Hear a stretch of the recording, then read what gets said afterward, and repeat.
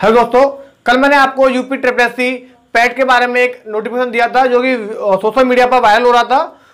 तो ऐसा कोई इशू नहीं था, जो मैं आपको कल वीडियो में क्लियर कर दिया था। लेकिन आज जो मैं आपको इस वीडियो में बताने वाला हूँ कि यूपी ट्रिपल एस के द्वारा आज एक नोटिस जारी किया गया है 10 अगस्त को।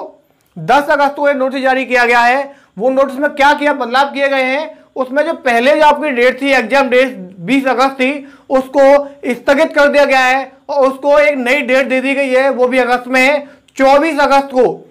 ये लेटर आपके सामने दिया हुआ है, दिख रहा होगा।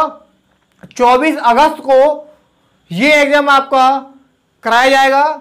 ये दो पालियों में एग्ज़ाम होगा। मंगलवार का दिन है उस दिन 24 अगस्त, मंगलवार का दिन, जिसमें सुबह 10 से 12 बजे तक और एक तीन बजे से पाँच बजे तक। ये दो पालियों में हमारा एग्ज़ाम होना है।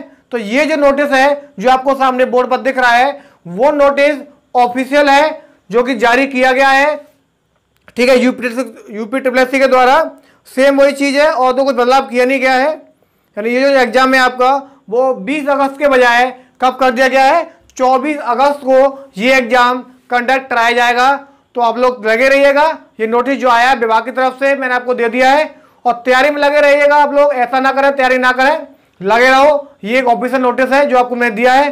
फिर मिलते हैं आप नेक्स्ट वीडियो के अंदर। ठीक है दोस्तों चलते फिर।